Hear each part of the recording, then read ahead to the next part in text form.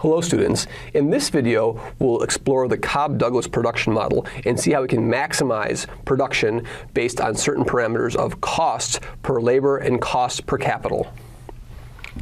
So the Cobb-Douglas model of production asserts that production is a constant, so this is a constant, times the labor to the power alpha times the capital invested to the 1 minus alpha. So here L is labor, K is capital, and P is production.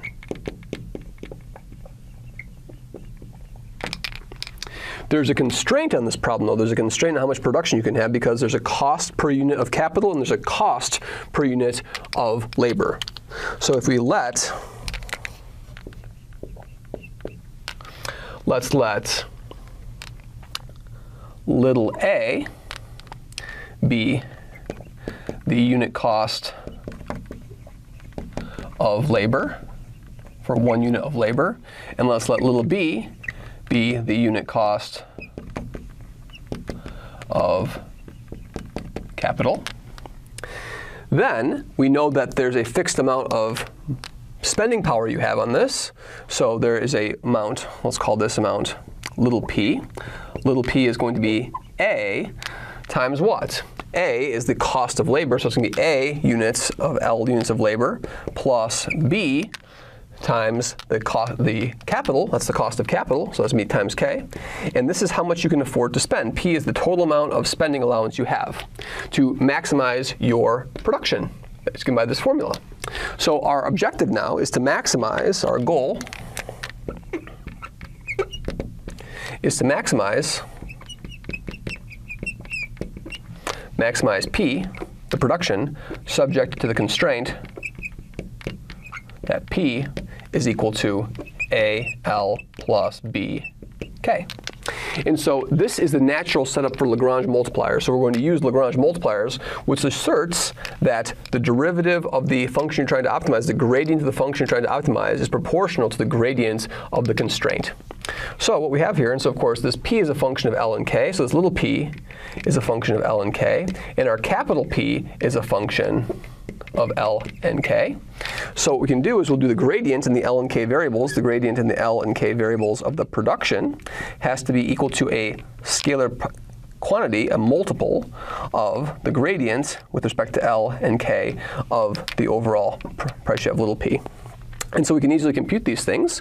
So the left-hand side, we're going to do the derivative with respect to L first, right? So now what do we have here? We have L to the power of alpha, right? So now we have to remember how we do the derivative of L to the alpha. So if we're doing the derivative, the derivative with respect to L of L to the alpha will be alpha L to the alpha minus 1 using the power rule. And so what we'll have over here is on this left-hand side, we're going to have alpha, and of course there's the constant c out in front, alpha c, and then we're going to have L to the alpha minus 1, and then we're going to have k to the 1 minus alpha. That's going to be my L derivative, and then comma, so this is the L derivative, this is the L derivative. Then we have to do the k derivative. The k derivative of this is going to be c and then the derivative of k to the 1 minus alpha so I'm going to put a 1 minus alpha down here, 1 minus alpha, L to the alpha, that stays put because L is constant with respect to k. And then we have k, 1 less than this, so I'm going to have a minus alpha. This is the k derivative. I treat L as a constant. This is equal to lambda, and now we do the derivative of little p with respect to L. The derivative of little p with respect to L is going to be what? Is going to be just A, lambda A. And the derivative of little p with respect to k is going to be little b.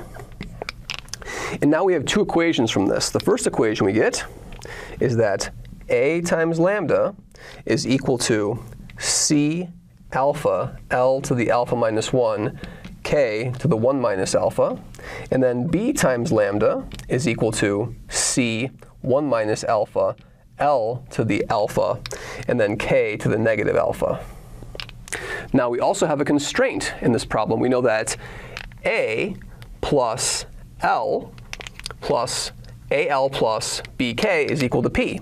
So if we add these equations together, what we get, we'll have lambda times P, so we can do a number of different things over here. The first thing we can do, though, is that we can notice that if we take these equations and we divide them by each other, we can get lots of cancellations. So if we divide these out, what will we have? Well, there's two things we can do. We can find lambda first, and then we can find um, we can find lambda first, and then we can actually find what the optimization is going to be. We can use our constraint as well. So the last equation we have is P is equal to A L plus B K.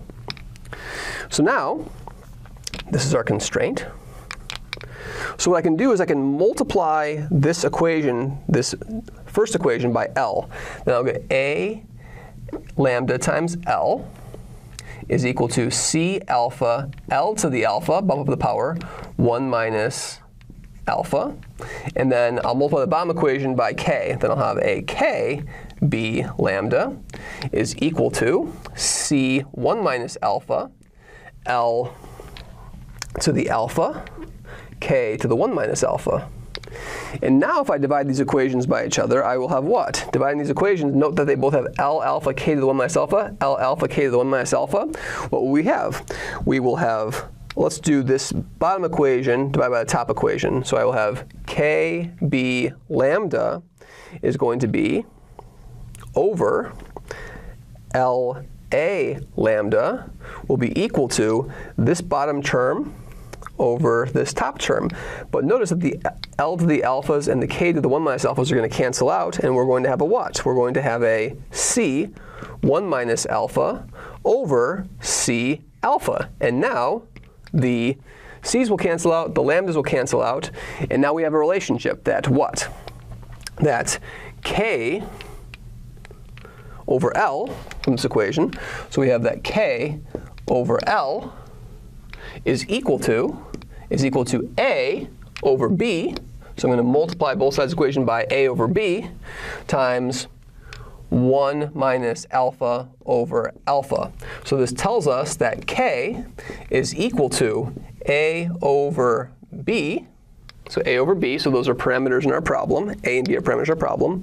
And then times 1 minus alpha over alpha times L. So here's our relationship. So this is the relationship between capital and labor, which will give me, which will maximize my production.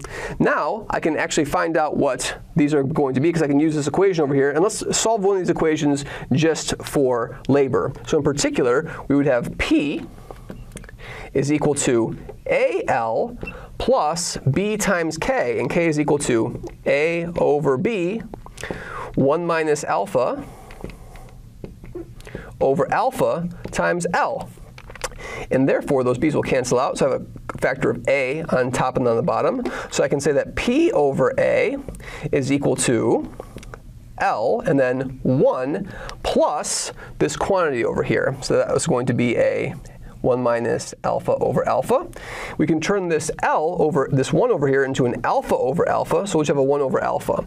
So it looks like the L that we find over here, if we solve our algebra correctly, will be, I'll have an alpha plus 1 minus alpha, that'll be a 1 over alpha, so I will have a 1 over alpha from this term over here, that's a 1 over alpha. If I multiply by alpha, I have that, P, that L is equal to alpha times the total price that you're allowed to spend over what? Over A. So this value of L is going to optimize the, that's the optimal amount of labor to use to optimize the production given a certain cost budget. Then we can solve for K. Now I have the relationship for K. What is K? K is equal to this quantity over here times L. So we can solve for K. This will tell me, using algebra, that K, the optimal K, is going to be A over B. Well, this A over here will cancel out with this A in the L.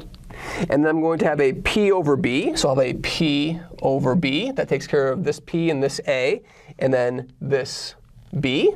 over here. And now this alpha in the numerator is going to cancel with this alpha, so I'm going to have a p over b 1 minus alpha. And so this value of k and this value of L will optimize my production given a certain budget of little p. Thank you very much.